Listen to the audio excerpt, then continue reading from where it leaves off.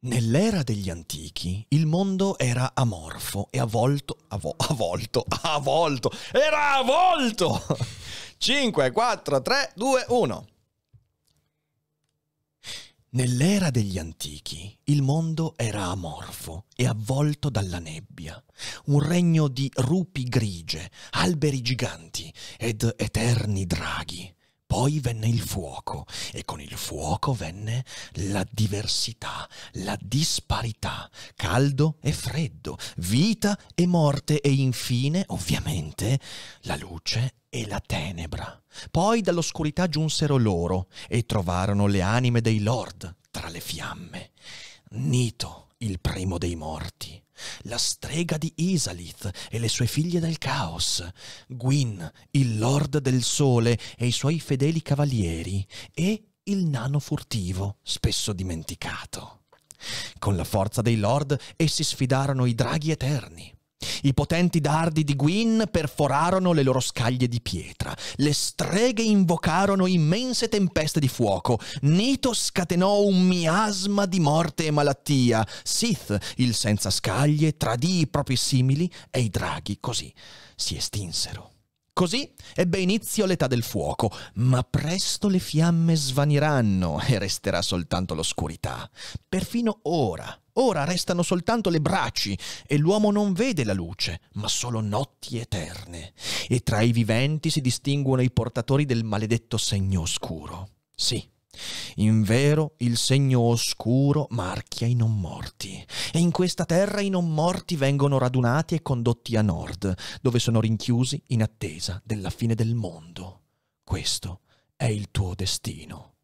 Il destino di questo special cogito dedicato a un grande capolavoro della letteratura videoludica contemporanea, ovvero Dark Souls di Hidetaka Miyazaki, sviscerato come sempre dopo la sigla. Daily Cogito, il podcast per tutti e per nessuno. Puoi amarlo, puoi odiarlo, ma non puoi ignorarlo.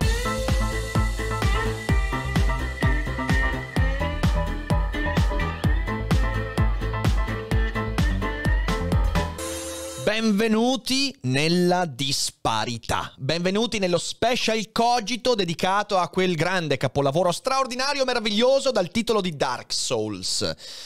Dark Souls eh, è un videogioco e qualcuno subito dirà videogiochi, insomma, ma, ma, ma, ma le opere di Hidetaka Miyazaki, questo visionario pazzo, assolutamente fuori di testa, ma geniale, ci ricorda che il linguaggio videomediale, anche ludico, può ambire ad essere una grande narrazione. Perché quando ci approcciamo a Dark Souls e alla saga dei Souls, eh, quelli prodotti quindi da From Software, questa casa di produzione eh, di Hidetaka Miyazaki, quindi si citano Demon Souls, la trilogia di Dark Souls, Bloodborne, Sekiro e il venturo Elden Ring, che sto aspettando con una qual certa trepidazione, beh, siamo di fronte a un'opera che non si limita all'intrattenimento. E mi verrebbe da dire che quelli ancora convinti convinti che il mezzo videoludico non possa ambire ad essere definito un'opera narrativa di livello artistico, beh, sono persone sprovvedute perché negli ultimi anni sono emersi dei videogiochi che veramente riescono ad avere eh, dei livelli artistici molto molto elevati, che superano spesso tanta letteratura prodotta. Abbiamo fatto lo special cogito su Death Stranding, opera straordinaria, abbiamo fatto gli special cogito su eh, Shadow of the Colossus, Ico e The Last Guardian, opere incredibile, e poi la saga di Zelda. E quest'oggi ci addentriamo in questa opera, Dark Souls, che io ho giocato la prima volta nel 2018, molto tardi, e devo dire che è stato subito repulsivo, perché la prima esperienza è stata talmente traumatica che ho detto no!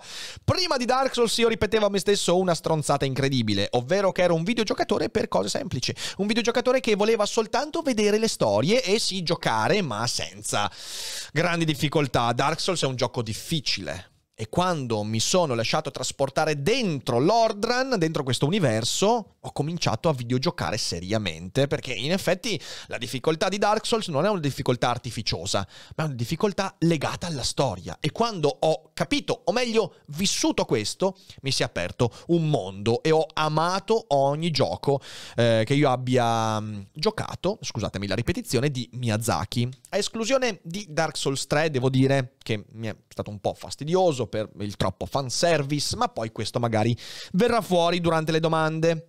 Si tratta quindi eh, di un corpus di opere molto vasto, tutte opere lunghe. Dark Souls, eh, la prima run mi ha portato via circa 90 ore di gioco, tanto per dire, insomma, eh, Bloodborne siamo più o meno su quella cifra.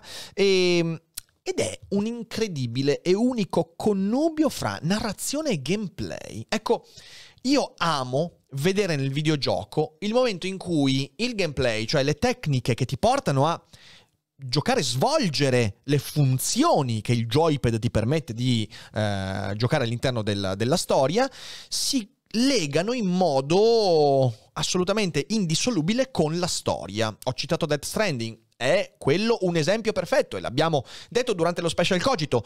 Le difficoltà del gioco non sono messe lì come elementi in più, ma sono connaturate alla storia che si vuole raccontare in cui devi immergerti.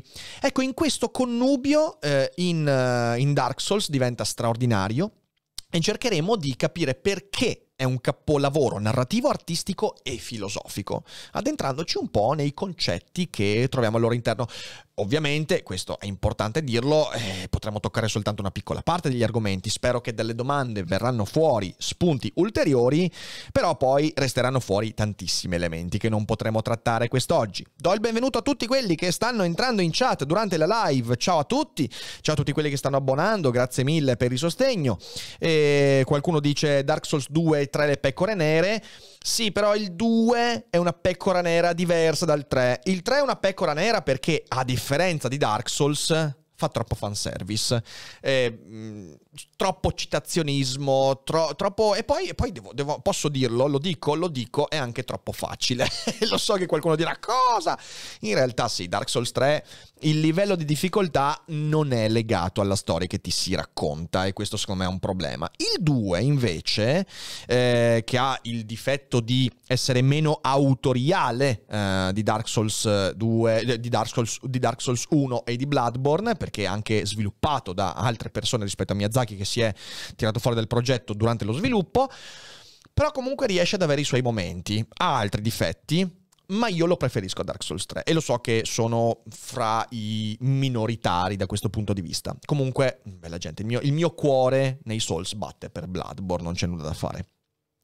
Quindi benvenuti, benvenuti a tutti quanti. Qualcuno dice eresia, è possibile. Beh, quando si parla di Dark Souls bisogna parlare di eresie, di blasfemie, inevitabile. E, e molto bene, molto bene. Um, so che il 2 non ha una struttura così connessa come Dark Souls. È vero, è vero, è vero. Ecco, un altro aspetto che poi si perde eh, in tutti gli altri giochi in realtà di eh, From Software è quella cosa che mi colpì tantissimo di Dark Souls, cioè il fatto che cioè, tutta la mappa è un intestino. È tutto interconnesso. È una roba incredibile. Dalla punta più alta della torre più elevata fino agli antri cavernosi dei domini di eh, Isalith è tutto collegato. Tu in Dark Souls puoi ripulire da tutti i nemici, se riesci a non morire, e poi farti tutto il percorso senza mai interruzioni. Io quando mi sono reso conto di questa roba qua sono impazzito. Ho detto, ma stiamo scherzando? Cioè questa è un'opera architettonica vera, non è soltanto artistica dal punto di vista estetico, è un'architettura, è una mappa di una complessità incredibile. E poi ci sono tanti altri elementi che andremo a sviscerare quest'oggi. E allora io direi di non tergiversare ulteriormente se fate domande, mi raccomando, fatele evidenziando eh, i, mm, con i punti spinosi le vostre domande, così le recuperiamo facilmente. E prima di addentrarci in questa trasmissione, però, vorrei prima di tutto ringraziare lo sponsor di quest'oggi, che questa trasmissione è Gimme5. Gimme5 è un'applicazione straordinaria per il risparmio e l'investimento. È un'applicazione che io utilizzo da tempo con grande gioia ed è parte integrante della mia quotidianità. Sapete perché? Perché? Perché ti permette con piccole cifre periodiche di mettere da parte dei piccoli gruzzoletti che all'inizio possono essere utili per esempio per eh, crearsi una caparra per la futura prima automobile oppure per avviare una piccola attività e via dicendo. Il risparmio è esattamente questo, partire da piccoli sacrifici del proprio reddito per trovarsi qualcosa di gestibile fra un anno, cinque anni, dieci anni. Poi magari uno vuole fare le cose a lunghissimo termine. E non solo, Game 5 attraverso i fondi gestiti da A come A ti permette di investire in fondi a rischio praticamente nullo con dei rendimenti piccoli ma costanti nel tempo eh, che investono in aziende made in, made in, Italy, aziende volte alla sostenibilità e quindi tutto quanto volto insomma a creare anche un po' di consapevolezza di cosa significa investire. Prima di tutto significa non fare rodere il proprio denaro dall'inflazione, dal costo della vita, dal tempo che scorre e che scorrendo fa decadere tutti quelli che sono i valori del mondo, proprio come in Dark Souls. E adesso adesso vedremo perché.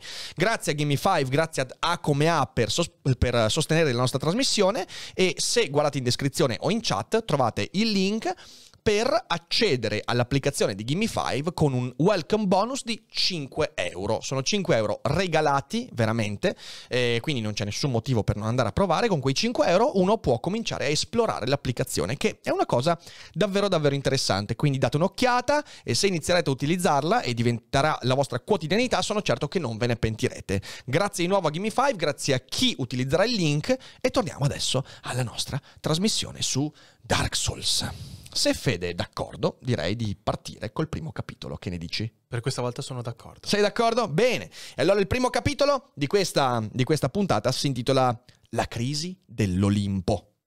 E datemi un secondo. E direi di partire. Lord Gwyn ha lasciato in eredità la maggior parte del suo potere agli dei e ha bruciato come cenere per la prima fiamma. Ma anche così l'anima di Lord Gwyn è davvero una cosa potente. Lord Gwyn, il personaggio principale, il protagonista di Dark Souls, sotto molti punti di vista, il re dei re, qualcuno potrebbe dire, oppure la vittima delle vittime, secondo altri. Lord Gwyn è il mistero incarnato di Dark Souls, perché il suo potere nel corso della storia diventa sempre di più un potere subito e non esercitato. Lord Gwyn non è il dominatore, è il sacrificato, ma i motivi di quel sacrificio, beh, cercheremo di scoprirli durante questa puntata. Vedete, il mondo di Lordran, questo mondo, questa città straordinaria, circondata da altre città, altre terre, di cui però sentiamo solo le leggende come Astoria, come altri luoghi incredibili. Lordran è letteralmente un Olimpo in decadenza. È la casa degli dei che però sta disfacendosi. E questo è un punto importante da capire perché ci dà subito l'idea di quello che Dark Souls vuole raccontarci. Lord Gwyn, in effetti, questo possente condottiero che con i suoi cavalieri sconfigge i draghi eterni e riesce a dare vita all'età del fuoco, è letteralmente una citazione a Odino, sia per la sua storia che per il suo aspetto. In quanto Odino nella mitologia norrena, in effetti, è un condottiero che attraverso le sue gesta e attraverso i suoi errori finisce molto spesso per decadere. La mitologia norrena non è come la mitologia diciamo così, monoteistica occidentale, ma anche quella, se ci pensate, la mitologia ebraica, diciamo così, mettiamola meglio, la mitologia politeista è una mitologia radicalmente diversa da quella monoteista. Perché? Perché nel politeismo le divinità sono fallibili. E in mezzo a questa divinità ci sono anche altri elementi che in Dark Souls si richiamano perfettamente a quella mitologia norrena, per esempio gli Arch Trees, cioè questi alberi giganti che sono alberi ma sembrano anche rocce, non sono vivi in quanto gli alberi giganti esistevano prima dell'arrivo del fuoco. E la stessa cosa vale per i draghi eterni, gli Eternal Dragons, che Gwyn sconfiggerà attraverso il tradimento di Sith, il senza scaglie, anche quei dragoni in realtà non sono draghi fatti di carne ed ossa, perché la carne e le ossa, che sono soggette al decadimento, possono esistere soltanto nell'era del fuoco, e poi vedremo questo cosa significa. Quindi sono dragoni che sono fatti di roccia, eh, di, di cose corazzate. Ecco, tutto questo ha a che fare proprio con l'immagine che Miyazaki vuole trasmetterci di questo Olimpo. Gli dei quindi Gwyn e tutte le altre figure semidivine, che poi cercheremo di capire anche che tipo di divinità è questa, fanno di tutto per conservarsi. Ovviamente il tentativo di autoconservazione è una cosa che non è contemplata in una mitologia monoteista. Il Dio biblico non ha bisogno di autoconservarsi, perché non è mai sotto la minaccia di qualcuno. Persino quando vive la minaccia delle minacce, cioè per esempio il dissidio con Satana, che ci viene raccontato per esempio da Milton nel Paradiso Perduto, non è mai veramente in pericolo Dio. Anche quando manda, se vogliamo proprio prendere la mitologia eh, più vicina a noi, anche quando manda il suo figlio, che è divino, sulla terra, deve farsi carne Gesù per decadere, cioè per morire. Ma lo spirito non può mai corrompersi. In Lordran questa cosa non è vera. Gli dei sono soggetti al decadimento. E questo è un punto interessante perché tutta la poetica di Miyazaki racconta una complessa relazione fra divinità, semidivinità e umanità. Una complessa relazione in cui non c'è una gerarchia che dall'alto va verso il basso in modo come dire, diretto. Non ci sono dei creatori che creano. Per quanto poi gli dei di Dark Souls siano dei creatori, come vedremo, però non è una creazione univoca, perché gli dei sono messi sotto la minaccia dell'umanità. Di nuovo, nella mitologia monoteista occidentale, l'uomo non può mai minacciare Dio. Al massimo Dio può rompersi le balle e dire vabbè, uomo, ciao, ci vediamo. E di solito lo spazza via. Ok, diluvio, cavallette, peste, bubonica e addio. In questo caso invece l'umanità riesce ad avere il potere di minacciare la posizione degli dei e questo rende tutto molto più complicato.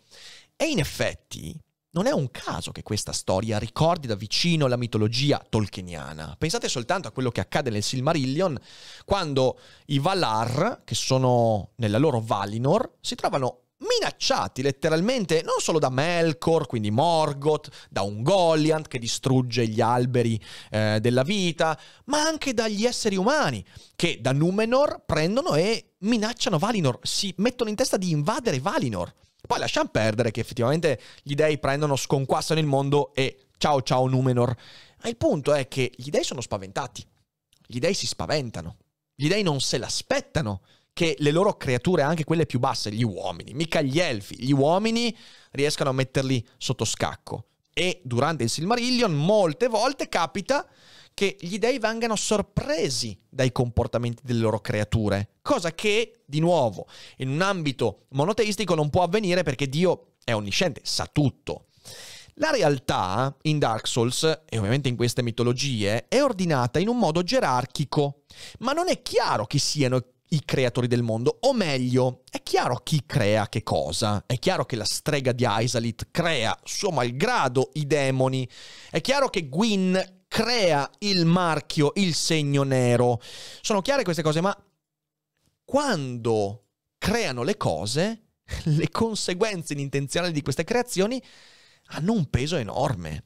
Eh, I Lord quindi Gwyn, eh, quindi Nito, quindi la strega di Aisalit, sono effettivamente delle divinità, ma soltanto gerarchicamente rispetto agli esseri umani, ma non sono divinità assolute. E in effetti il mondo prima del fuoco e dell'emersione della disparità è narrato come un mondo statico, come ho letto insomma all'inizio di questa live, all'inizio c'era una staticità, i dragoni, gli alberi eterni, il fuoco non c'era ancora, è il fuoco che crea la disparità. Prima della disparità c'è una staticità. E noi non sappiamo chi o che cosa abbia creato il mondo prima del fuoco, non sappiamo neanche da dove emerga il fuoco, il fuoco scoppia, il fuoco, la scintilla emerge e alcuni lo scoprono, ma non è qualcosa che venga creato. E questa è la caratteristica dei lord, la loro possibilità di sbagliare, la loro fallibilità. Il governo da parte di questi lord, che sono divinità, per un essere umano, per un non morto, eh, per un hollow being, quindi un essere vuoto, sono divinità di fatto.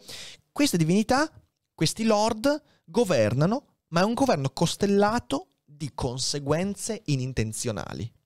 Tutto quello che ci viene raccontato in Dark Souls, e sono poche le cose che vengono raccontate in modo chiaro, e poi vedremo anche perché, ci raccontano conseguenze inintenzionali. L'onniscienza non è un elemento presente in Dark Souls. E questo è ciò che Miyazaki cerca di dirci. Non importa a che livello sei del mondo. Non importa quanto sia grande il tuo potere. la tua esistenza sarà sempre una scommessa. Scommette Gwyn quando bandisce l'umanità. Scommette Sith quando tradisce i suoi draghi. Scommette il personaggio ogni volta in cui il giocatore fa delle scelte. Sono scommesse. Il valore della scommessa è il fatto di non poter mai sapere con certezza quale sarà l'effetto finale di quella decisione. E quando questo accade per un essere umano siamo a posto, ma quando accade con gli dei, allora si crea un problema, perché significa che la disparità che il fuoco produce è il vero dominatore del mondo. E qui non può non venirci in mente Eraclito, visto che abbiamo fatto la monografica un paio di settimane fa. Recuperatevi la dannazione. Eraclito quando dice Polemos, di ogni cosa è padre e ogni elemento comanda. Perché cos'è la disparità se non il polemos? Attenzione, il polemos non inteso solo come il conflitto materiale, guerresco. Anche, ovviamente, si traduce in quel modo la guerra fra Lord Gwyn e i draghi è un polemos, ma il polemos vero e primordiale è quello che non permette alla staticità di resistere fino in fondo. Il fuoco nasce perché nasce. Non c'è nessuno che crea il fuoco perché oltre gli dei, oltre i draghi, oltre gli alberi eterni, oltre la staticità, oltre qualcuno potrebbe dire l'entropia a cui tutto tende in- invariabilmente, c'è la disparità, che è un elemento della realtà che domina ogni cosa. E se quella disparità è reale, se quella disparità domina veramente tutto, allora anche gli dei più potenti che stanno al di sotto, che sono un effetto di quella disparità, dovranno scommettere. E così gli dei di Tolkien, i Valar, scommettono. Quando c'è la guerra fra gli Elfri, fra Feanor e i suoi fratelli, si schierano è quello che accade anche nell'Olimpo omerico. Gli dei si schierano. Si schierano perché non sanno effettivamente chi avrà la meglio. Una cosa interessante in Omero è che sono degli esseri umani a volte a sapere meglio degli dei cosa avverrà, le Cassandre. Ma la disparità guida tutti alla necessità della scommessa. Perciò, quando Gwyn maledice l'umanità, non sa quello che avverrà, non sa quali saranno gli effetti inintenzionali, come ci viene raccontato in questo dialogo di Aldia, tratto da Dark Souls 2. All men trust fully the illusion of life. But is this so wrong? A construction, a facade, and yet a world full of warmth and resplendence. Young Hollow, intent on shattering the yoke, spoiling this wonderful falsehood? Once, the Lord of Light banished dark and all that stemmed from humanity. And men assumed a fleeting form. L'effetto di bandire l'umanità, l'effetto di porre sull'umanità il segno, il marchio oscuro e quindi di separare la Dark Soul, l'umanità, dall'anima bianca, dall'anima che invece è quella degli eroi, l'anima pura, quell'effetto è la causa di ciò che poi porta Lord Gwyn alla sconfitta, l'età del fuoco allo spegnimento. Quindi le scommesse non solo, ci dice Miyazaki, sono scommesse, persino gli dei devono lanciare i dadi, contraddicendo l'idea di Einstein, secondo cui Dio non gioca a dadi. Ci sono due modi diversi di vedere il mondo. Da un lato Einstein dice Dio non gioca a dadi, perché le leggi sono fatte, sono finite. E secondo invece Dark Souls, no, gli dei giocano a dadi, perché neanche gli dei sanno, non esiste un destino. Oppure appunto la scommessa di Sith che tradisce i suoi simili. Oppure la strega di Isalith che distrugge la propria progenie nel tentativo di crearne una perfetta in questo atto di eugenetica, utilizzando la piromanzia che però ha degli effetti devastanti. E poi ci sono anche Framt e Kath, i due serpenti primordiali, i quali sono la personificazione della, scom- del- della scommessa. E sapete qual è la cosa veramente interessante di questi che sono forse i miei due personaggi preferiti di tutto Dark Souls? Il fatto che Loro sono eterni, sono più antichi di Gwyn, sono più antichi di tutti quanti gli dei. Eppure persino loro non sanno e le loro posizioni sono scommesse. Dark Souls prende quell'idea di Eraclito, quell'idea che tutto quanto si basa sulla disparità, sul polemos, sul conflitto, quindi sul fuoco, che ogni cosa comanda e ogni elemento governa, e gli uomini gli uni li fa schiavi e gli altri li fa dei, tanto per dire insomma quanto Eraclito abbia detto cose sull'Ordran, prende quell'idea e la porta alle estreme conseguenze. Se le cose stanno così, se è veramente la disparità a comandare, beh allora non c'è nessun destino. Dark Souls è una mitologia in cui non esiste un destino, perché tutto è segnato dall'incompletezza. La disparità è l'incapacità di incastrare i diversi elementi del mondo per darne un'immagine definitiva. E quando persino gli dei non hanno i pezzi del puzzle per vedere l'intera figura, e allora non possiamo che avere un mondo dominato dal caos della disparità. Perciò, insomma, è, questa è un po' la mitologia, la cosmogonia, mi verrebbe da dire, di Dark Souls. Un Olimpo in crisi, degli dei in crisi profonda. E sentiamo se ci sono delle domande, se, se, se la chat sta partecipando. Sì, sta partecipando e come. Bene, bene, bene. Allora sentiamo, sentiamo. C'è Riccardo Sandri che dice: Non credi che la scrittura di Dark Souls sia limitata? Non sarebbe stato meglio se avesse avuto una vera e propria sceneggiatura, così quasi Uh, solo un'ambientazione contesto da esplorare. Nel secondo capitolo ti spiego perché no, non era meglio così. E invece la, la, la, il puzzle rotto di Dark Souls è una scelta ben consapevole e che io amo moltissimo. Ma secondo capitolo ne parliamo. Mm. Poi c'è Riccardo Sandri. Sempre lui? Che dice, esatto, credi che i serpenti primordiali, che sembrano sapere tutto il contrario e controllare la storia dietro le quinte, siano una rappresentazione di pseudo-antisemitismo? Perché a quanto pare dice che anche il loro design ricorda vagamente certe caricature sugli ebrei. Bah, questo mi sembra, mi sembra sinceramente una speculazione allora, che ci sia, che, che dietro Frampt e, e, Kath ci sia l'idea di qualcuno che muove i fili e che de, delle marionette, sicuramente. Sulla fisionomia dei due serpenti, boh, cioè, non, ti, vedendolo e avendoci giocato tante volte, non mi è parso minimamente. Quindi mi sembra una speculazione priva di fondamento. Queste erano le domande segnate. Molto bene, molto bene. E, um, qualcuno dice: Ma allora sono l'unico rincoglionito che non ha finito Dark Souls? Vabbè, ma non è, non è assolutamente, um, non è assolutamente un, un problema. Eh. Cioè, anzi, ti dico di più è comprensibile non finire Dark Souls perché non è un gioco per tutti, però ti consiglio magari di vedere qualcuno che ci ha giocato fino in fondo perché è un gioco che anche visto è molto molto bello quindi ti direi così. Ehm, in realtà, Rick, se si considera il giapponese un puzzle ricco e completo, no, completo non direi proprio. Io mi sono visto i video che eh, mm, parlano della, de, della lingua originale, non è affatto completo, ci sono degli elementi in più che conosco, non ho voluto inserire in questo video perché sennò diventava troppo complesso, però è tutt'altro, com- è tutt'altro che completo il puzzle. Ci sono delle citazioni che forse sono un po' più chiare in giapponese, questo sicuramente. Ecco. Eh, partirei con il secondo capitolo, che si intitola Il regno dell'incompiuto. E quindi parliamo proprio di quell'elemento lì. E se siete pronti, io direi di partire con la solita lettura e il solito video. Senza dire una parola, un misterioso cavaliere lasciò un cadavere nella cella e questi aveva addosso una chiave.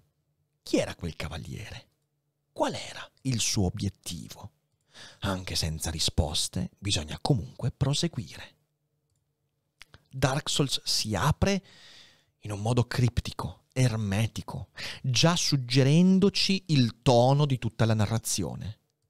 Noi ci troviamo nella cella, nell'asilo dei non morti, e questa cella è chiusa, e noi non sappiamo chi siamo, ci siamo risvegliati in questo antro buio a un certo punto cade un cadavere e il cadavere è una fiammella bianca e la fiammella bianca è un oggetto e l'oggetto è una chiave e quella chiave porta questa iscrizione. anche senza risposte, bisogna comunque proseguire. Quello che ci viene detto con la prima frase presentata da Dark Souls è già un elemento centrale. Dark Souls è un puzzle in cui i pezzi mancanti sono molti di più rispetto a quelli presenti, a quelli manifesti.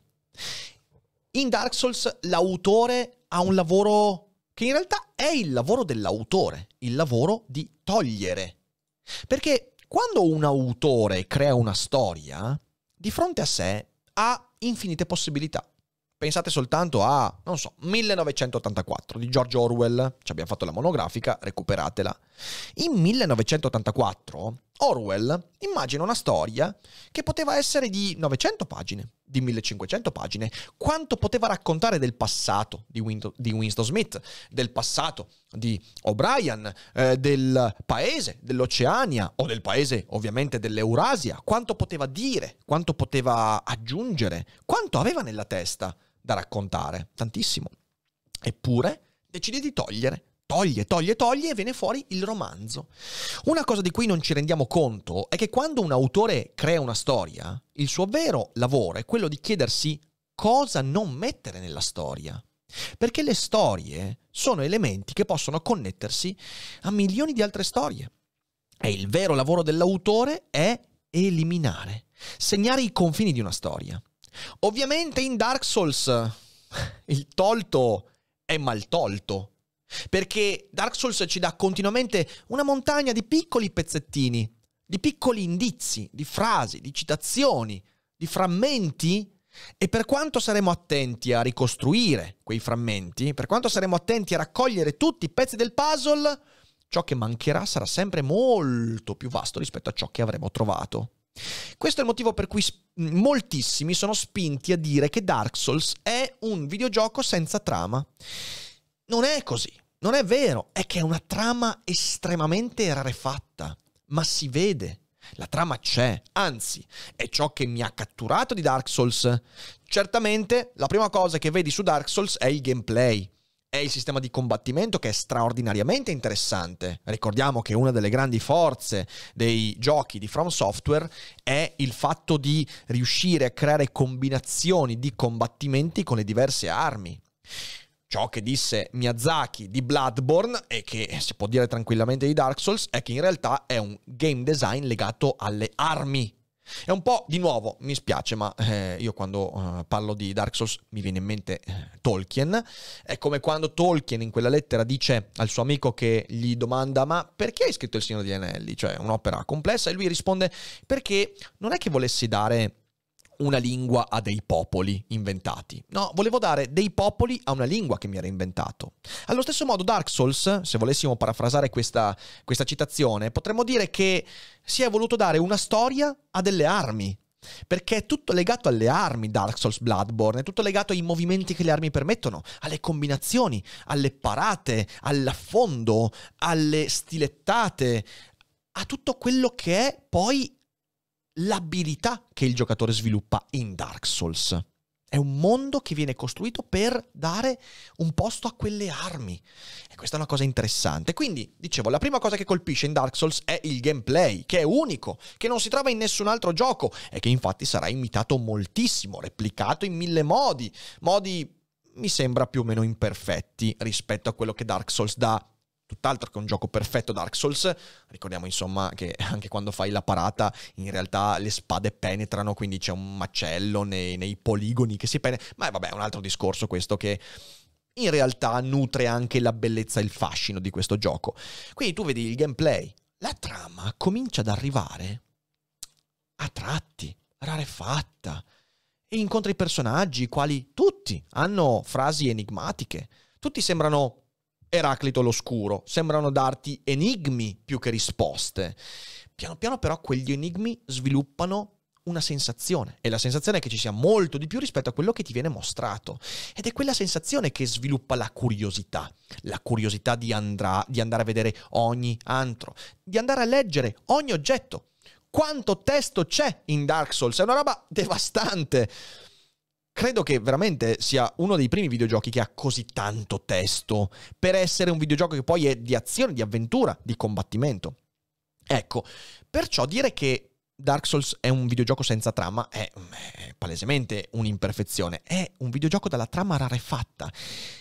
La questione è che questa trama rarefatta non è un vizio di forma, non è una scelta eccentrica dell'autore. Ed è questa la vera genialità di questo gioco. La trama rarefatta è un elemento cardine del gameplay. E sapete perché? Perché Dark Souls è un gioco multiplayer. Attenzione, qualcuno che non ci ha mai giocato direbbe: Ah, ma quindi posso andare con il mio compagno in giro per l'Ordran? No, non è quel tipo di multiplayer, non è il multiplayer che c'hai in Super Mario. È un multiplayer in cui puoi incontrare i fantasmi degli altri giocatori, i quali ti sfidano a duello, in cui puoi farti aiutare, ma è un multiplayer in realtà molto intelligente perché tu non collabori nel gioco, tu ricostruisci il gioco attraverso quel multiplayer. E infatti c'è un multiplayer in game, il fatto per esempio che io ho sempre adorato, che tu senti quando sei in giro per l'Ordran le campane del risveglio. E tu sai che tu non sei, non stai tu suonando le campane del risveglio e quindi intuisci che sono gli altri giocatori. Tu senti gli altri giocatori che in quel momento stanno suonando la campana del risveglio anche se non li puoi incontrare lì fisicamente all'Ordran perché ci sei solo tu, però c'è questo legame con tutti gli altri universi paralleli, come se ogni giocatore avesse il suo universo parallelo, però comunicante. Oppure trovi gli indizi, i giocatori ti dicono guarda, fai un passo in più, ci sono le tracce che gli altri giocatori lasciano se uno decide di attivare insomma il multiplayer che io trovo sempre molto affascinante anche perché molto spesso mi sono fatto trollare eh, giocatori che ti dicono fai un passo in più tu lo fai e cadi di sotto bastardi figli di puttana. Però capita anche quello eh, ed è una cosa interessantissima ma non solo. Non solo c'è quel multiplayer in game c'è un multiplayer extra game cioè i giocatori al di fuori del gioco cercano di cooperare per ricostruire quella trama rarefatta. Io stesso, per fare questa live, mi sono documentato grazie agli altri giocatori. In effetti, sembra quasi che ci sia una scienza intorno a Dark Souls. Certo, è una scienza non falsificabile, è una scienza per dire, è una scienza fatta di ipotesi che vengono avallate o meno dai piccoli indizi della trama. E io credo che nessun giocatore abbia la capacità mentale di avere un'immagine definitiva e totale di Dark Souls. Ma quello che si può fare è che ogni giocatore, concentrandosi sulla parte che ama di più, metta a disposizione della community le sue intuizioni, le sue ipotesi. E infatti credo che Dark Souls sia uno dei giochi più discussi della storia, anche perché attualmente Dark Souls è un gioco di, insomma, un decennio fa, eppure i forum, eppure tutto quanto è ancora molto vivo. Non solo, l'ultima scoperta in Dark Souls risale a un paio d'anni fa. Quindi la gente ancora oggi, a un decennio di distanza, scopre cose in Dark Souls. Questo è il vero multiplayer di Dark Souls.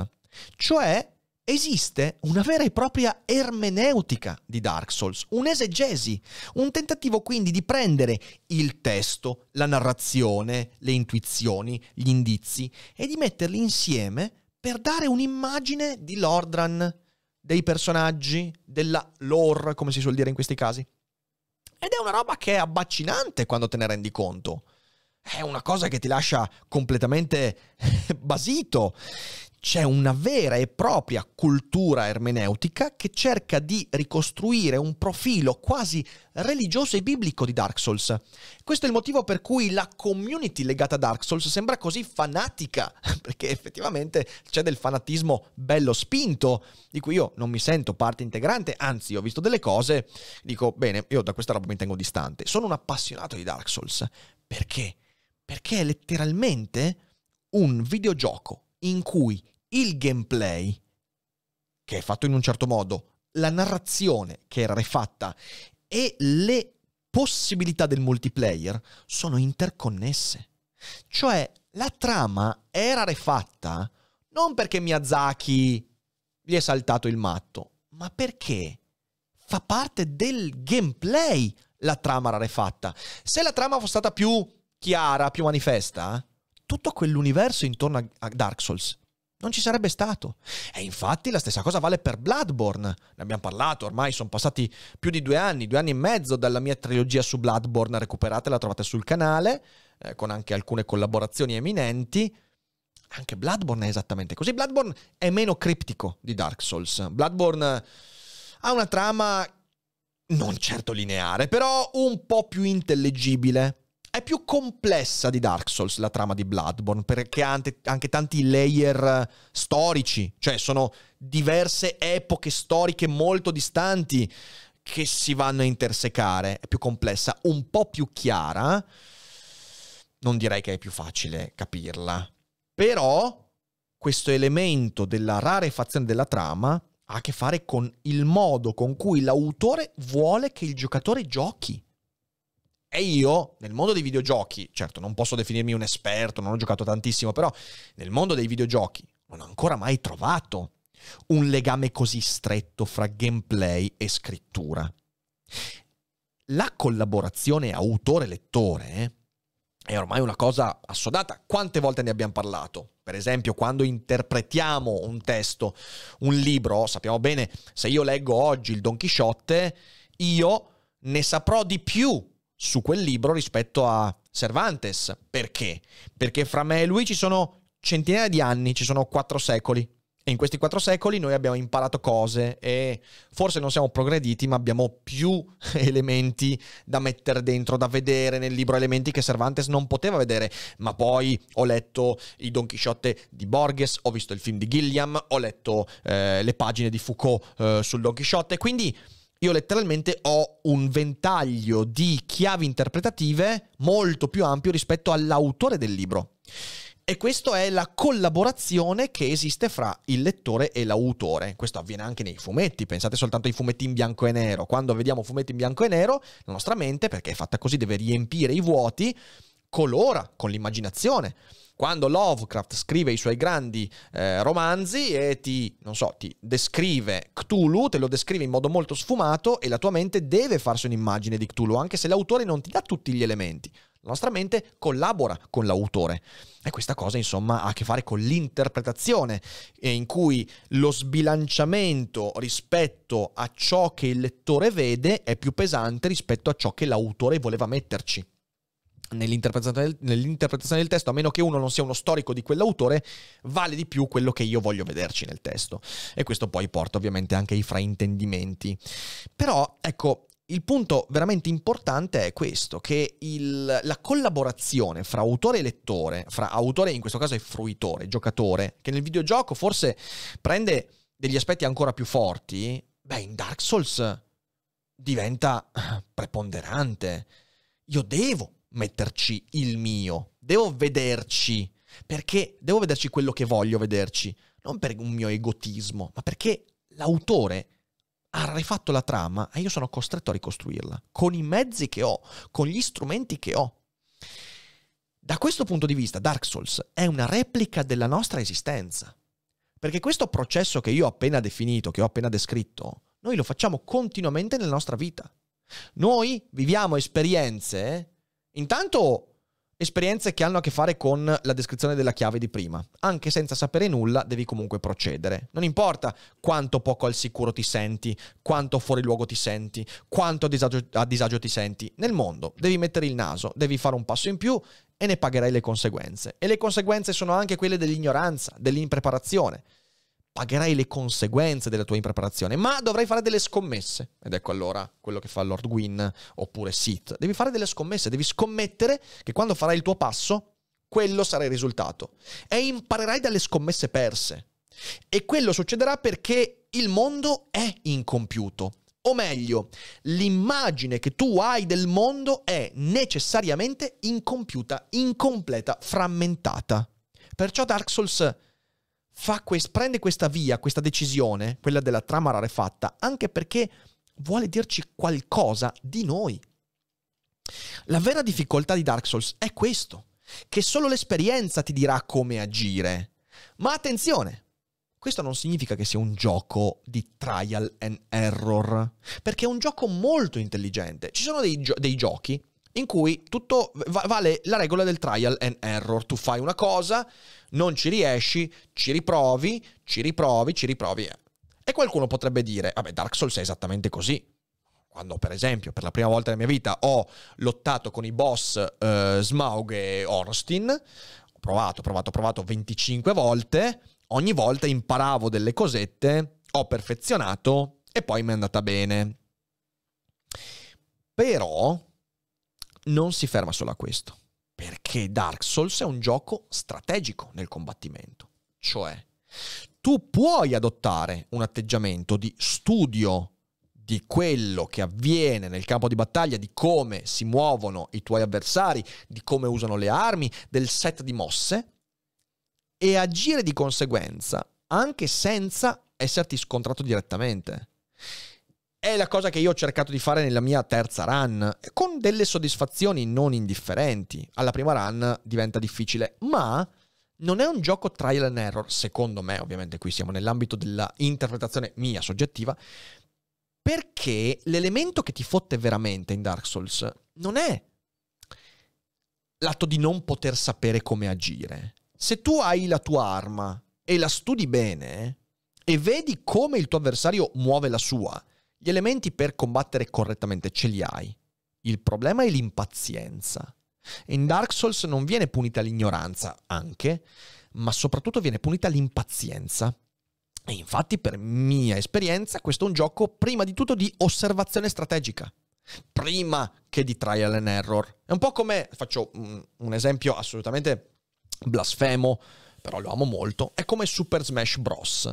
Smash per la gente è un picchiaduro in cui devi premere i tasti a caso. Se ti fermi un secondo e studi il tuo personaggio e conosci il personaggio avversario, sai che ogni singola mossa ha i suoi pixel di allungo, di accorcio, ha i suoi tempi e quindi puoi fare un'osservazione strategica per poter a priori sapere come combattere bene. Dark Souls è un Super Smash Bros. in un mondo decadente, in un Olimpo di dei in decomposizione. Però il punto che volevo far emergere è questo. Le incompiutezze di Dark Souls non sono casuali. E a ciò aggiungo che neanche le incompiutezze tecniche sono casuali. Tanti si lamentano del fatto che, eh, ma ci sono dei pezzi di Dark Souls che mancano, tecnicamente. È vero, per esempio c'è un boss che è la culla del caos, eh, che è la da un punto di vista della lore, è la decaduta e marcescente progenie della strega di Isalith, quindi è un demone bambino che viene protetto da un demone un po' più bastardo, che è palesemente un boss non definito. Cioè un boss che è stato lasciato a metà. E infatti è un boss di merda, cioè nel senso, diciamolo tranquillamente. Ma qualcuno si è chiesto perché nel tempo non hanno fatto una patch? Quindi perché nel tempo non l'hanno aggiornato? Insomma, Dark Souls c'ha un decennio ormai. Perché non l'hanno fatto un aggiornamento? Perché non hanno migliorato la culla del caos? Eh perché, perché in realtà quello lì è il boss. E con le sue incompiutezze anche tecniche ci trasmette di nuovo quel senso che ho cercato di trasmettere. Che le cose sono incompiute. Stop. Qualcuno si è chiesto perché nella remaster del 2018 io ho giocato il primo Dark Souls per PS3 e vi posso assicurare che la città infame è stato un disastro immane perché quando il frame rate va a 11 e tu sei nel buio e stai camminando su un ponticello di merda fatto di legno marcescente e peraltro senti alle tue spalle il rumore di un cane demonico che ti sta inseguendo mettere un piede in fallo è un attimo e io penso di essere morto 530 volte dentro quella città infame bastarda che ancora mi fa, inc- mi fa venire gli incubi. Poi arriva la remaster e dici, beh, ma avranno risolto tutto. E invece no. Certo, il frame rate rimane, cioè va, va, più alto, non si arriva mai più a 11 di frame rate, però comunque le ombre ti incasinano e i pixel ti fottono. Qualcuno si è mai chiesto perché non hanno aggiustato quelle robe lì? Perché Dark Souls è incompiuto. Il mondo di Dark Souls è incompiuto. E da questo punto di vista l'intento non è quello di farti venire il nervoso. O meglio, anche, ma l'intento vero è quello di dirti, guarda che le cose non sono come te le aspetti. Non c'è niente di completo. Tutte queste incompiutezze in Dark Souls sono il cuore pulsante del gioco ed è il motivo per cui anche cadendo in un fosso ingiustamente per 500 volte, tu ritornerai di nuovo a quel luogo e cercherai di superare quel dannato ponticello. E scusatemi se è poco. E torniamo alla chat, sentiamo la chattina, cosa da dire, sentiamo un po', sentiamo un po', sentiamo un po'. Ti chiede Jean, secondo te a che Covenant potresti appartenere? Ah, io sicuramente a quella di Kath.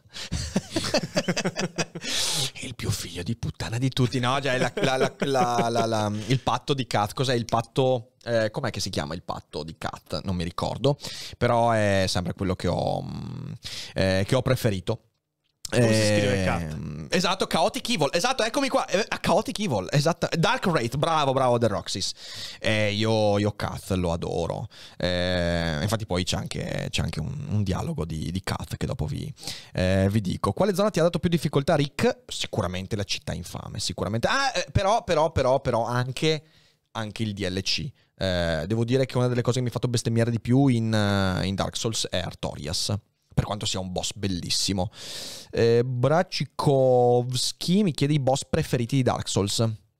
Allora, sapevo che qualcuno mi avrebbe fatto questa domanda. Allora, intanto grazie a Elisa, grazie a Christos, grazie, grazie, grazie a, a, Loregro, grazie a Salitore, grazie mille a tutti, siete tantissimi, grazie per gli abbonamenti, grazie mille per il sostegno. Eh, allora, dicevamo, boss preferiti. Intanto bisogna capire preferiti in che senso perché ci sono due modi per um, valutare i boss preferiti. Una è la lore e uno invece è il gameplay.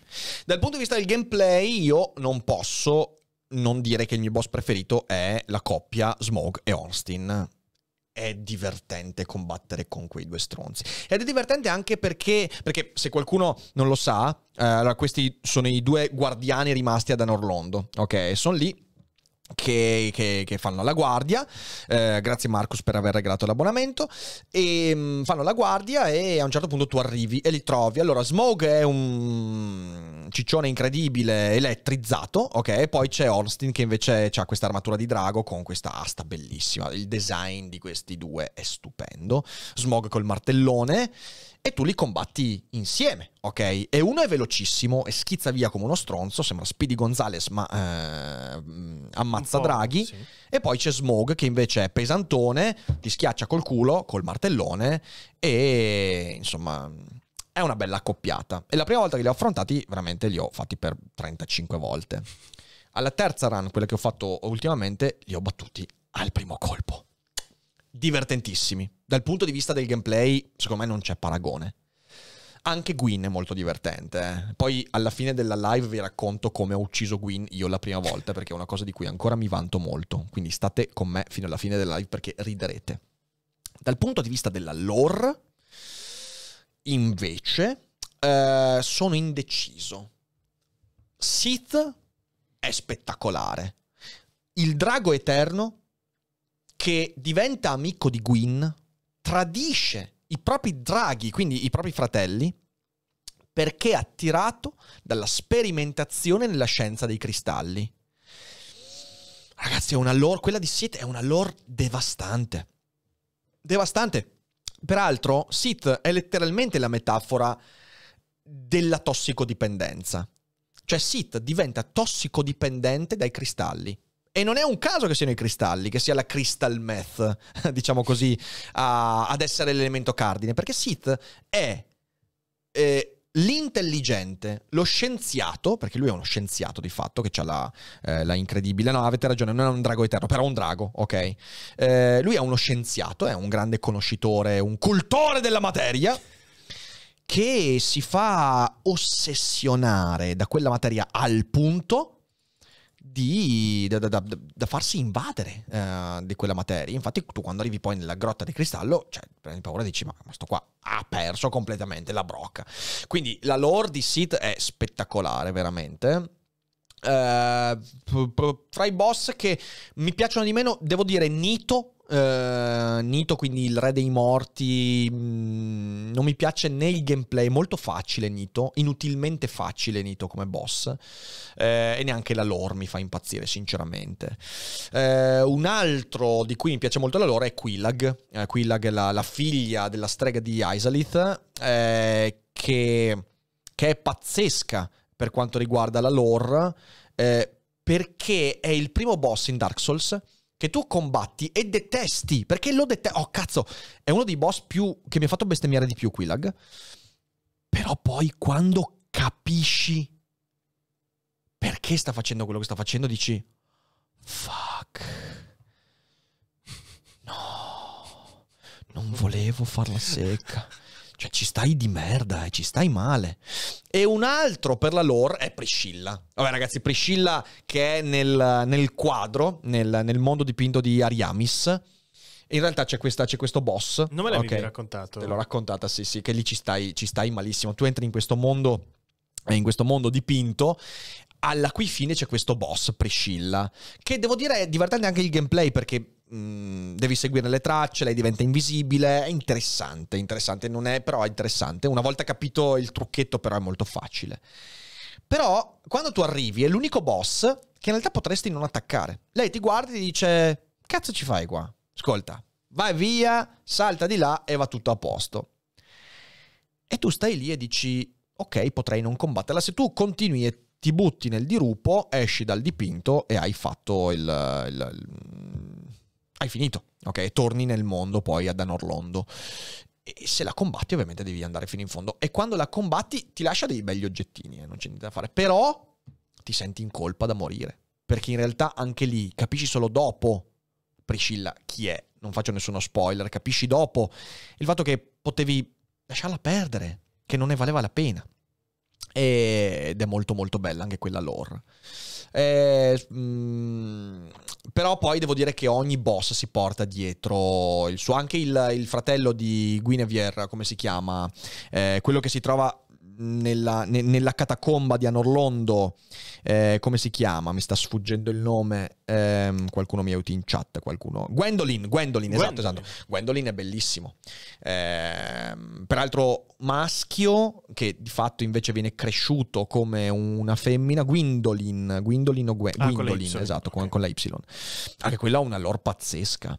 Eh, ma, ma mm, non c'è nulla da fare. Dark Souls è, è pieno di queste cose qua. Ed è anche quello un elemento che mi è mancato molto in Dark Souls 3, eh, la lore dei boss eh, e questo, questa unione eh, di, di, di, di lore e di gameplay a me nel Dark Souls 3 è mancato. Nel 2 mi è mancato dal punto di vista del gameplay, perché i boss sono tutti molto simili eh, dal punto di vista di, di, come li combatti e come li puoi sconfiggere. Quindi quello è, quello è, è il gameplay è mancato. E insomma, mm, così, questo è quello che, che, che, penso io. Poi, ovviamente, è tutto molto soggettivo. C'è qualche altra domanda, Fede? C'era Bix uh, Read Alive che ti chiede che cosa ne pensi del nano furtivo. Secondo te dovrebbe vincere l'oscurità e l'era dell'uomo o vincolare la fiamma e rimanere nell'era del fuoco più che si può? Allora, questo è quello che dirò nell'ultimo capitolo della, della, live, quindi resta con noi. Nano furtivo è un figo, incredibile. Sai, io ti ho detto che... Uh ogni volta che gioco cerco di entrare nel patto di Kath, quindi probabilmente qualcosina ce l'hai in mente. Eh, ok, allora direi che possiamo andare avanti, direi che possiamo andare avanti. Andiamo al terzo capitolo. E il terzo capitolo è un pantheon del fallimento. Allora, prendo la lettura, eccola qua, perfetto. E quindi iniziamo. Anima del cavaliere Artorias di Lord Gwyn, consumato dall'abisso. La leggenda che Artorias respinse l'abisso raccontava solo metà della storia. Sembra che sia stato sconfitto e il suo onore preservato da qualche eroe non celebrato, che è il vero vincitore dell'abisso. Questa che vi ho letto è una delle descrizioni più enigmatiche, più affascinanti um, di tutto Dark Souls. E devo dire che il DLC di Dark Souls mi è piaciuto tantissimo. Unico difetto, troppo cervellottico a entrarci. Il DLC di Dark Souls non, av- non sarei mai riuscito a entrarci se non avessi letto come si doveva fare. È stato l'unico momento in cui mi sono letto una delle soluzioni. Però, prima di entrare in, diciamo così, nel, nel, nella saga di Artorias, partiamo da questo. Dark Souls contraddice l'idea di divinità ed eroismo. Lordran è una terra senza eroi, ma piena di personaggi che vengono chiamati eroi. Artorias è un po' come Batman. Se muori, muori da eroe, se vivi a lungo, diventi il cattivo. Il problema è che ciò che ci dice Dark Souls è che non si esce vincitori dall'Ordran.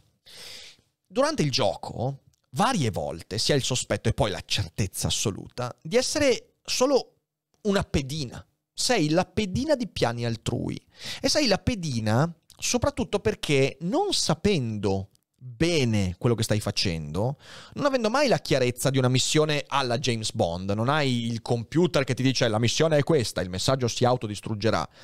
Non hai nessuno che ti dà una missione, hai una serie di indizi e sai che devi fare qualcosa, ma non sai bene che cosa fare, ti senti una, una pedina e sentendoti una pedina, mano a mano ti convinci che un dominatore esista, che il marionettista sia da qualche parte. Ti aspetti un mago di Oz, ti aspetti qualcuno.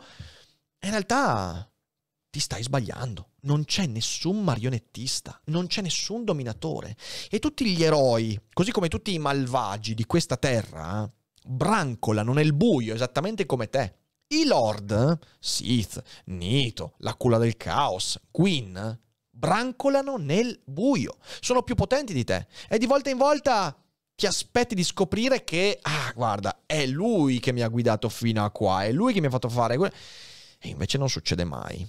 E le figure che si succedono in questo in, questo, in, questo, in questa, questa straordinaria epica sono le figure di un pantheon di falliti. Ah, il primo che vorrei trattare con voi è Soler, il cavaliere, il cavaliere Soler. Cavolo, gente, l'unico personaggio veramente positivo di tutto Dark Souls.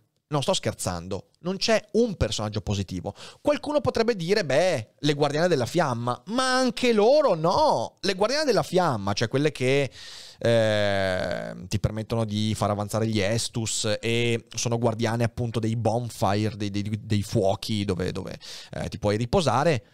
Eh, quando finisci Dark Souls sai perfettamente che non sono parti, cioè non è, non è che sono per forza eh, buone, non hanno una volontà, no, in realtà potrebbero essere state, ma non voglio di nuovo perché qua sennò sono spoiler grossi, però c'è Soleil, Soleil è l'unico personaggio positivo, lo incontri 4, 5 volte, sono 5 gli incontri che fai con Soleil, lo puoi evocare anche per combattere alcuni boss, eh, devo dire che in alcuni casi veramente è stato fondamentale per esempio nella mia prima lotta con Smaug e Ornstein, tu puoi evocare Solaire e altrimenti non ce l'avrei mai fatta nella mia primissima run tre anni fa, è l'unico personaggio positivo.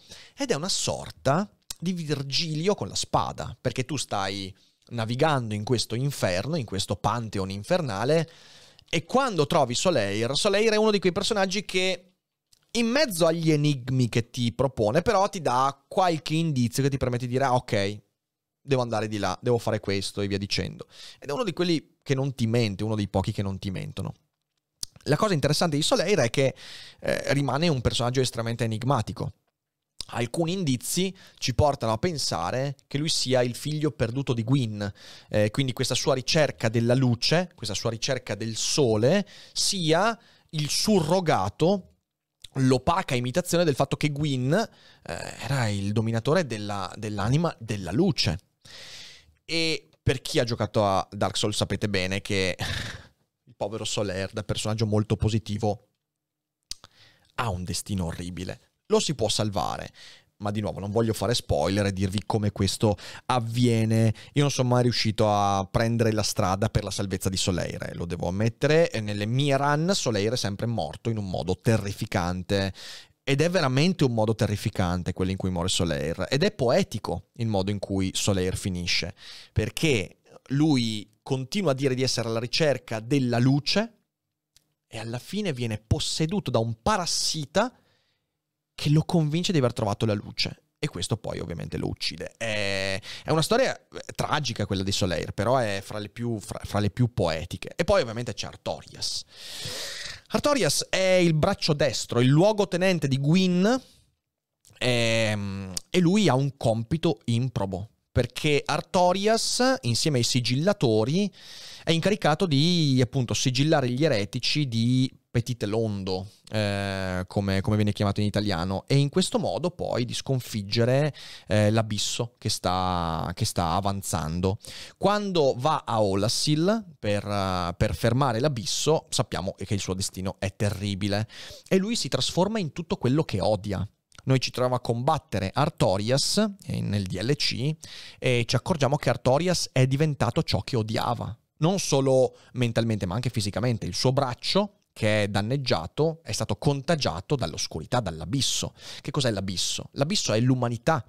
È l'umanità che, soggiogata dalla volontà di Gwyn, a un certo punto riesce a rompere le sue barriere e comincia a invadere ogni cosa l'umanità in Dark Souls non è un valore puramente positivo. L'umanità è un valore che può essere positivo soltanto finché trova il suo campo di esistenza. Ma Gwyn fa il grande errore, la sua scommessa di rinchiudere l'umanità all'interno del, eh, del, del, circolo, del segno, della maledizione, perché ricordiamoci che Gwyn maledice l'umanità di fatto, eh, pauroso dell'arrivo del, de, del, del, re degli uomini, quindi del signore oscuro, e, e l'umanità comincia a invadere tutto. E Artorias si trova a dover arginare quell'abisso e in realtà a diventarne parte. Eh, anche quella di Artorias è una storia tragica, e devo dire che la parte più bella, più bella di Artorias è quella di Sif. Eh, ora, Sif è il lupo, l'amico lupo di Artorias, e ci sono due possibilità con Sif. E io ho sempre trovato questa cosa narrativamente spettacolare. Se tu vai a combattere Sif nel cimitero dove è sepolto Artorias, prima di andare a sconfiggere, o meglio salvare Artorias nel DLC, Sif ti attaccherà e, e basta, tu uccidi Sif e questo ti permetterà di andare da Artorias.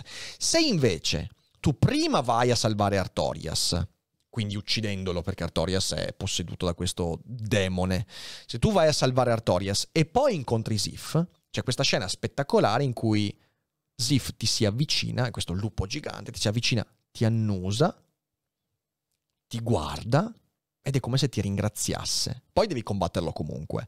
Però è una scena bellissima quella. Quindi Artorias è comunque il, il, il, simbolo di un fallimento, di un fallimento incredibile. Poi un altro personaggio interessante è lo Trek, eh, lo track, eh, eh, se dovete giocare Dark Souls stateci attenti perché lui è l'ingannatore, è il Mefistofele.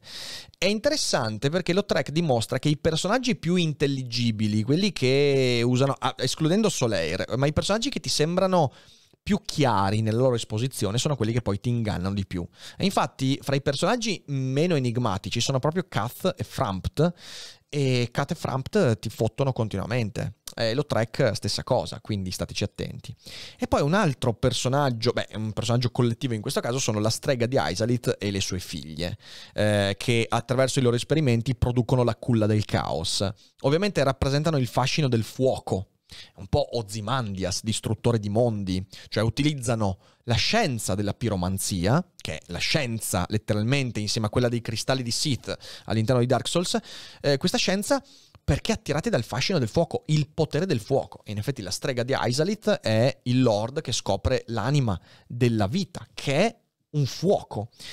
E quindi è l'immagine della scienza che tenta di dominare il caos e il fuoco. La piromanzia, e questo viene spiegato in moltissimi momenti in cui si trovano per esempio gli incantesimi di piromanzia, gli oggetti legati alla piromanzia, il fuoco, cioè il fuoco è un caos, è qualcosa di ribollente, la piromanzia è il tentativo di cui si convincono in molti, i piromanti, di poter imbrigliare l'energia del fuoco. E noi durante la storia incontriamo vari piromanti che sanno farlo, solo che la strega di Isalith si è spinta un po' troppo in là attraverso questa scienza della piromanzia, cerca di produrre di fatto un'eugenetica, cerca di mettere in atto un'eugenetica e finisce per devastare tutto il suo reame con la produzione dei demoni. E questi demoni che in realtà poi si scopre essere vittime di, questa, di questo esperimento fallito. Ehm, perché questo avviene? Perché la scienza della piromanzia si mette in testa l'obiettivo di dare ordine al fuoco e al caos, ma il caos ha una volontà propria. Questa cosa viene ripetuta molto spesso. E quindi anche la strega di Aisalit con le sue figlie, ehm, Quillag in particolare, dimostrano le conseguenze inintenzionali dell'ordine. Noi ordiniamo la realtà, noi cerchiamo di ricomporre il puzzle, eh, di, di leggere il destino, di capire qual è la strada giusta, ma ogni volta in cui ci convinciamo di questo, ecco che si sviluppano le inintenzionali conseguenze dell'ordine e l'ordine si devasta e crea un male ancora più devastante di quello che voleva curare. Ecco, da questo punto di vista, Dark Souls è un mondo di archetipi, archetipi che riproducono aspetti fondamentali della nostra esistenza. Motivo per cui ci sentiamo così attirati da questi personaggi. Il motivo per cui ognuno di noi sceglie il suo personaggio, il suo archetipo, è che questi rispondono a nostre esigenze, ai nostri difetti, alle nostre caratteristiche. Ecco, Conoscere gli archetipi, come voleva Jung, significa entrare in contatto con mostri terribili, prima di tutto. Significa vedere in faccia aspetti della nostra vita che avremmo preferito non vedere. E questo è il Pantheon di Dark Souls ed è veramente qualcosa di molto vicino al Pantheon classico, tanto quello norreno quanto quello greco, perché in effetti gli dei, prima di essere modelli positivi da imitare, erano personaggi pregni di invidie, di difetti, di fallimenti, di violenze. Cioè, andatevi a leggere un po' la mitologia greca questi qua erano dei pezzi di merda, eh. Quindi prima di essere dei modelli imitabili, erano dei modelli evitabili, dei personaggi negativi, dei personaggi che attraverso i loro errori hanno compiuto cose nefaste. E questi sono gli dei di Dark Souls. Ed è una cosa fantastica da ritrovare in un videogioco. Sentiamo se c'è qualche domanda, Fede. Sì. Ce n'è. Andiamo. Allora, in questo punto qua devo dire che la chat in alcuni momenti mi è sembrato che ci fossero delle cose che non erano molto chiare. Ok, perché ho parlato di cose di trama e quindi Sì. forse, forse per quello. No, che non capisco se perché erano inesattezze oppure no. Sentiamo, sentiamo. che sto cercando di dire. Che per esempio il figlio di Gwyn non è Soler. No, non ho detto che è Soler, ho detto che c'è, un- Ok. c'è un'ipotesi che Gwyn sia il figlio di Gwyn, cioè che Soler sia il figlio di Gwyn. Ok. Ci sono moltissime, ma anche non le definirei fanfiction, però ci sono delle storie che cercano di dire guardate che Gwyn potrebbe, cioè Soler potrebbe essere il figlio perduto di Gwyn. Ok. Non sono io ad averlo inventato, questa è una delle teorie che circolano. C'è Marcello Gallese che dice: Alcuni personaggi sono positivi rispetto alle loro convinzioni. Solere è solare, ma ossessionato dal sogno del sole. È vero. Eh, Sigmaier, è giusto Sigmaier, è un patatone, ma il venire sempre aiutato lo fa sentire debole. E Artorias combatte l'abisso fallendo, ma donando il suo scudo e il suo braccio per proteggere Sif. Sì, sì, sì, sì, sì. Eh, poi giusto, qua Itai ti dice che mm, il Dark Souls 3 ha smentito la teoria. Questo è vero, però ripeto, io sto prendendo in considerazione solo Dark Souls 1, quindi con gli Ok. elementi che abbiamo nell'1. Quindi mi perdonerete se non eh, vado a aggiornare le ipotesi al Dark Souls 3, perché altrimenti avrei dovuto fare lo special cogito su tutta la trilogia. Sarebbe durato Ehm, 6 ore. Però sì, questo, questo è assolutamente vero e questo mh, dà ulteriore spessore ai personaggi. I personaggi nelle loro positività sono spesso ossessionati, che è poi quello che accade per esempio ad Ais- la strega di Aisalith ha fatto bene a fare quello che ha fatto, cioè nel senso non è un, ha fatto anche cose buone, la sua intenzione era assolutamente eh, giusta. Mm, il problema è che l'intenzione poi è minata alla base da quella scommessa con cui abbiamo aperto la puntata e le conseguenze sono devastanti. Poi forse c'era la richiesta di fare un po' di chiarezza, forse tra la differenza tra fuoco e anima. La differenza fra fuoco e anima. Allora, in realtà il fuoco è l'elemento della disparità che poi dà vita alle anime, cioè nel senso Ok. le anime dei lord vengono ritrovate grazie al fuoco. Eh, quindi è questa la differenza fondamentale. Potremmo dire che la disparità è il nutrimento, ah, il, il contrario, le anime sono il nutrimento del fuoco e della disparità. Eh, poi bisognerebbe fare un discorso molto molto ampio sulla differenza fra le anime e l'umanità. Ok. Però veramente eh, lì rischiamo di perderci in un garbuglio di Molto- concetti e sfumature che io eviterei perché altrimenti No, no, certo, rischiamo, certo. rischiamo di perdere mh, tutto il pubblico Ok. eh, perché cioè, farei confusione anch'io in realtà. Cioè ci sono cose che palesemente sfuggono a una narrazione chiara, ok? Eh, comunque l'anima è un'emanazione, è un'espressione del fuoco Ok. e nutre il fuoco. Eh, e infatti il motivo per cui poi eh, uno dei finali è quello in cui tu eh, ti, ti- ti- ti- ti sacrifichi al fuoco. Com'è che eh, finisci per rinfocolare il fuoco eterno della fornace? Donando la tua anima. L'anima è nutrimento del fuoco. Quindi Le, anime potremmo vederle come il calore del fuoco. Esatto, cosa- sì, esatto, qualcosa che è un carburante, un combustibile. Questo sì, sì, sì. questo sì. Va bene. Allora ok, possiamo ci andare siamo? avanti. Perfetto, benissimo. Allora andiamo all'ultimo capitolo, eh, che è quello che in realtà mm, mi interessa anche di più da un certo punto di vista, perché è quello a cui volevo arrivare. Cioè, per me è il senso reale di Dark Souls, che è l'unico finale etico di Dark Souls. Sapete, Dark Souls ha diversi finali e quando ci si trova di fronte a questi finali ci si chiede ok ma qual è quello giusto? è una tendenza che abbiamo di fronte a ogni videogioco che abbia finali alternativi. Anche con Bloodborne avviene. Qual è il finale giusto? Farsi decapitare, risvegliarsi, prendere il posto eh, del, del guardiano, diventare un dio. E qualcuno potrebbe dire, eh, evidentemente diventare un dio. Eh, però sapendo quello che poi succede, forse no. Eh, in Dark Souls succede la stessa cosa. L'incompiutezza di Dark Souls, come abbiamo detto prima, dipende dal fatto che non esiste un destino. Non c'è un destino, non c'è, non c'è nessuno che, come Iluvatar nel, nel Signore degli Anelli, anzi nel Silmarillion, possa sapere e avere in mente tutto quello che avverrà nella storia del mondo. Almeno noi non abbiamo alcun contatto con un'eventuale entità che possa avere questa idea. Manco Miyazaki, nelle interviste che ci sono nel bellissimo artbook di Dark Souls, che purtroppo non ho qua ma ho a casa, eh, Miyazaki dice, io non, ho idea di... cioè no- neanche lui ha in mente il puzzle completo. Eppure non siamo veramente liberi in Dark Souls. Se manca un destino, potremmo concludere dicendo, vabbè, allora... eh, noi possiamo effettivamente fare del nostro- della nostra vita quello che vogliamo.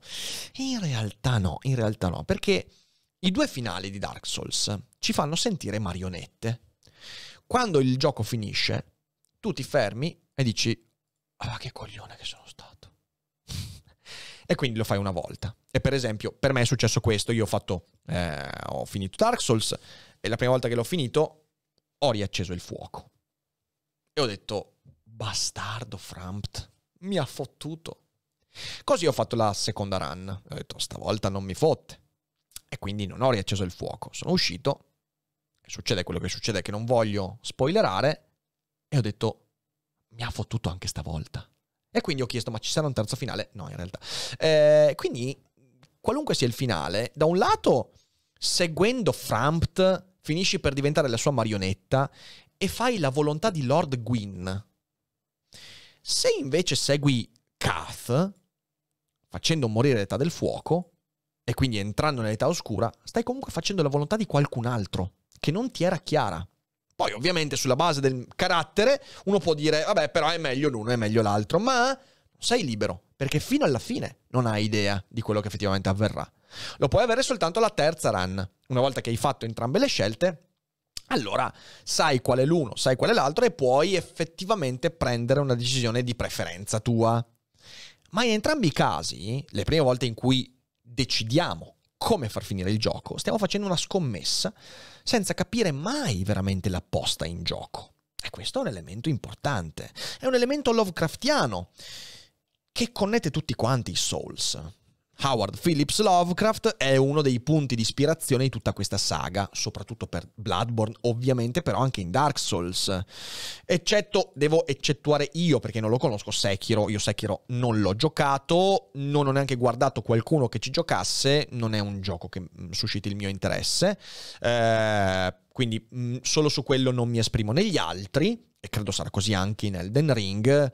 L'elemento Lovecraftiano è abbastanza presente l'idea che qualsiasi conoscenza acquisita dall'esperienza sia una conoscenza che ci porta a autodistruggerci in qualche modo. Era meglio non allontanarci nel mare della conoscenza, ma restare nella nostra piccola isola placida di ignoranza. Ecco, le conseguenze dei finali sono terribili. Entrambe, eh. Che tu ti sacrifichi al fuoco, come voleva Lord Gwyn, e quindi tu vada a rinfocolare l'era del fuoco, tutto si ripeterà. E la storia che hai vissuto si ripeterà in un modo praticamente identico. È la ciclicità a cui sei destinato. Se scegli di non accendere il fuoco e di far spegnere quindi la brace tenuta in vita da Lord Gwyn, diventi il Signore Oscuro. Entri nell'età oscura, osannato dai serpenti primordiali, e però sei comunque di fronte a un destino terribile, perché tu diventerai il dominatore dell'era oscura. E anche lì le conseguenze sono terrificanti. E allora io mi sono chiesto, cos'è che devo fare in Dark Souls? Cioè, Dark Souls o è un gioco per figli di puttana e basta. E non c'è nessuna salvezza, non puoi sottrarti a questo gioco. Non sei libero, è vero, non c'è un destino, ma non sei libero. Oppure c'è un finale etico. E il finale etico non è del personaggio, ma è del videogiocatore. Attenzione, non è una battuta questa. L'unico finale etico è non procedere nel gioco. Questo, ben lungi dall'essere una sega mentale, fa parte esattamente di quello che Dark Souls è. Filosoficamente, l'unico che ha il potere di controllo e chi riconosce l'impossibilità etica che Dark Souls continuamente impone è il videogiocatore. Quando ti rendi conto che qualsiasi strada prenderai finirà male, eh, hai una scelta ed è quella di lasciare il mondo statico. Attenzione, qui voglio essere preciso. La disparità produce sofferenza. Il fuoco, che si alimenta con le anime, produce sofferenza, dolore, produce maledizioni, produce guerre e conflitti. Il fuoco è alimentato dal giocatore stesso e l'unica giustizia sta nella staticità che precede il fuoco. Sta nel fatto di non alimentare più il fuoco. In ambo i casi tu alimenterai la disparità. Se rinvigorisci il fuoco, il fuoco aumenterà la disparità. Se cadi nell'oscurità e diventi il Signore, eserciterai un potere in quell'oscurità e quindi la disparità continuerà. L'unica strada etica è abbandonare il gioco. Diventare vuoti e abbandonare il gioco. Questo è un pensiero che mi è venuto in mente semplicemente perché il gioco ti dà continuamente la possibilità di farlo, in quella ciclicità, in quella ripetizione. Ma ogni volta in cui muori, tu senti la sfida. E la sfida nasce da quella disparità di cui il gioco ti racconta la storia. E quindi c'è un solo modo per essere etici in Dark Souls. Non alimentare il fuoco del gioco. Non alimentare quel quell'essere marionetta di qualcun altro. Non seguire Framptkath, non seguire nessuno, non fare le missioni. Quello che ti sta dicendo Dark Souls, sei tu l'unico che ha il puzzle completo, o almeno sufficientemente completo da sapere che in questo mondo non esiste alcuna giustizia.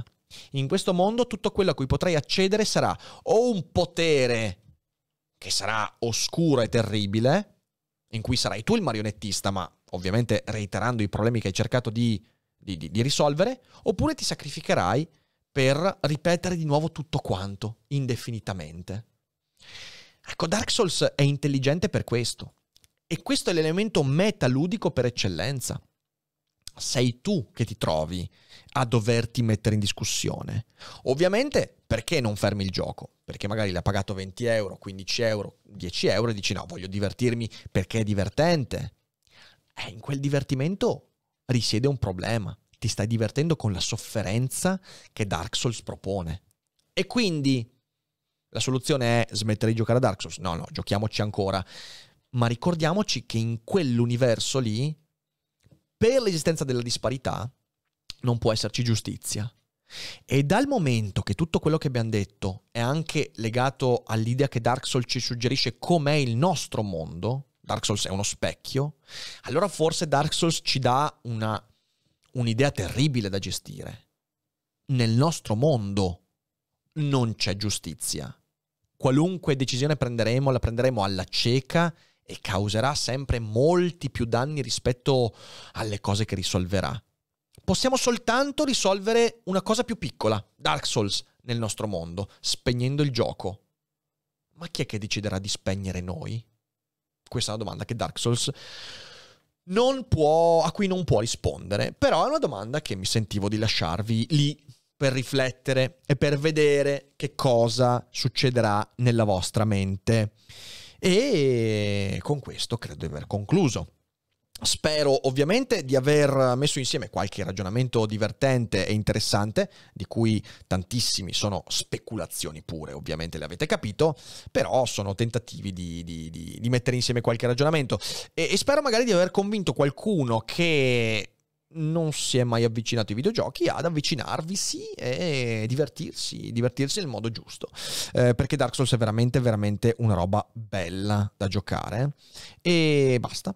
Uh, prima lezione di introduzione a Dark Souls si dice vincolare, non prendere. Hai ragione, strapattone. E, e, quindi ringrazio tutti quelli che sono stati in live con noi. Adesso leggiamo qualche domanda e poi andiamo a concludere questa live. Sentiamo Fede. C'era Kala che vuole fare una domanda strana, ma semi neofita. Ma gli dei che erano tra gli uomini, secondo te sono diventati dei per merito degli uomini nonostante gli uomini, quindi hanno isolato l'umanità per mantenersi tali. Spero sia stata comprensibile. Ma domanda. in Dark Souls? Sì. Ah, in Dark Souls non ci sono uomini che sono diventati dei dagli uomini. Ci sono gli dei, che sono i lord, emergono dal fuoco, scoprendo le anime, e, uh, e poi ci sono gli uomini. Uh, quindi se la domanda è in Dark Souls, non è una domanda ben posta. Se la domanda invece esula da Dark Souls, ti direi che gli uomini hanno sempre prodotto gli dei, cioè nel senso... Però questo è un altro discorso, ovviamente. E poi c'era una considerazione di Matteo, anzi domanda, eh, che dice: Pensi che un gioco come Dark Souls possa essere considerato un gioco da adulti o comunque da persone mature, alla luce di quanto detto finora? O che possa essere goduto appieno anche da un pubblico più giovane. Personalmente trovo che la sua complessità, se compresa, e non è scontato per un giovane videogiocatore di oggi, possa fornire un ottimo spunto di riflessione per una persona in crescita. Eh, allora, secondo me, per quello che ho detto, Dark Souls dà il suo meglio quando uno riesce a comprendere il legame fra gameplay e trama. E per comprendere la trama di Dark Souls, 13 anni sono pochini, credo. Poi non è vero, eh, conosco 13 anni che sono avanti anni luce, però mediamente è un gioco per adulti. Poi nulla vieta che un adolescente possa divertirsi molto. Con... Cioè, per me è divertente Dark Souls, è proprio divertente giocarci. Ehm, una delle cose più divertenti è io la prima volta che ci ho giocato ci giocavo con Ari di fianco a me e e Ari dopo la seconda, terza volta che morivo non ce la faceva più, si alzava e se ne andava. Era molto divertente. Quindi mh, mm, è difficile rispondere a questa domanda. Ti direi mediamente, secondo me Dark Souls non è un gioco per tredicenni. Però poi ci sono tredicenni che potrebbero divertirsi molto. Non vi ho neanche raccontato, perché avevo promesso di raccontare come ho ucciso per la prima volta io Lord Gwyn durante la prima run. Allora ve lo racconto perché è bello. Qualcuno l'ha già sentita, ma mi scuserete, in, una, eh, in, una, in uno special cogito su Dark Souls non posso non inserirla.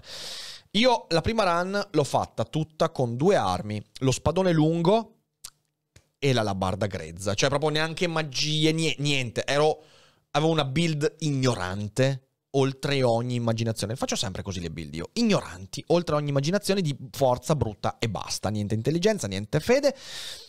Arrivo a Lord Gwyn. Ora, chi è che ha presente la sala dove si trova Gwyn? Gwyn è in questo salone enorme con due colonne e ha vari spuntoni, ci sono delle stalagmiti.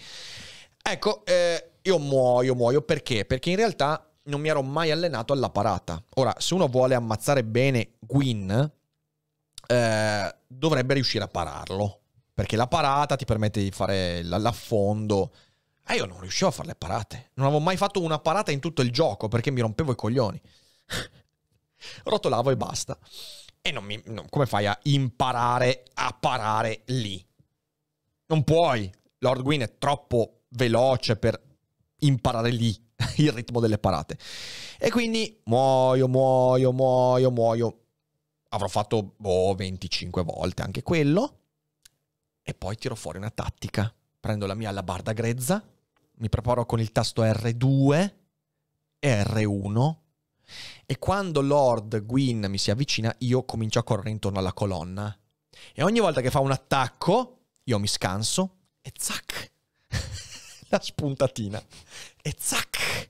120 alla volta, 80 alla volta e tac, e tac. E lui continua e ci prova, io corro intorno alla colonna. A un certo punto vado in panico perché lui riesce a raggiungermi, mi prende, mi colpisce, torno subito dentro la colonna, bevo e lui è zac e zac. Ci ho messo 20 minuti, ci ho messo 20 minuti ragazzi, ma ce l'ho fatta. È stato così bello vederlo morire, così, a punzecchiatine, come se avessi ucciso Golia a colpi di stuzzicadente. E sono stato veramente felice, veramente felice. Quindi, eh, quindi, è stata molto bella. Eh, The Roxys mi chiede il legame fra Velka e il nano furtivo. So che c'è una teoria a riguardo, però devo dire che non, non so, non, non, mi ha particolarmente convinto la teoria. L'ho letta, eh, l'ho letta, però non, non, so se Velka sia corrispondente al nano furtivo. Ehm, anche perché sai una cosa, le vesti di Velka sono alte e longilinee. Il nano furtivo non è alto e longilineo, quindi mm, non lo so, non lo so, non lo so. Sentiamo altre domande, Fede, vai. C'è questa di Teguardo che dice qual era l'obiettivo di Gwyn con il marchio? Cosa si aspettava che accadesse allungando la vita degli uomini? No, non allungando la vita degli uomini. Col marchio lui cerca di eh, imprigionare l'umanità. Lui è spaventato dal fatto che dall'umanità possa emergere eh, il Signore Oscuro, quello che lo sfiderà. Eh, ovviamente, di nuovo, sua, il suo tentativo produce l'esatto contrario. Il suo vincolare l'umanità nel marchio oscuro eh, porta l'umanità a collassare ed esplodere ed espandersi. L'abisso di Petite Londo e di Olasil è causato dal fatto che Gwyn imprigiona l'umanità. Eh, Gwyn è spaventato dall'umanità. Bene. Basta? Basta. Bene, direi che ci siamo, direi che ci siamo. Bella gente, spero che sia stata una serata divertente. Io mi sono divertito. Fede, com'è andata secondo te? Bene, mi ha fatto venire voglia di giocarci e la cosa triste è che non avrò mai tempo per farlo. yes!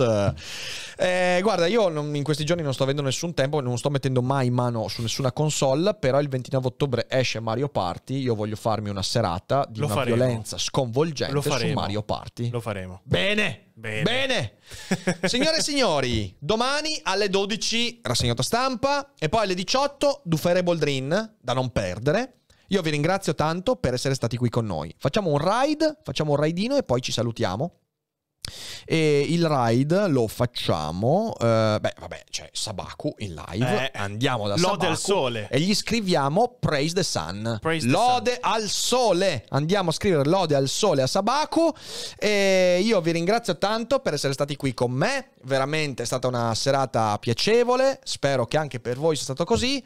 E mi raccomando, quando siete di fronte al sole, state attenti perché vi bruciate male. E non dimenticate mai che non è tutto noia ciò che pensa. Ciao belli, ciao.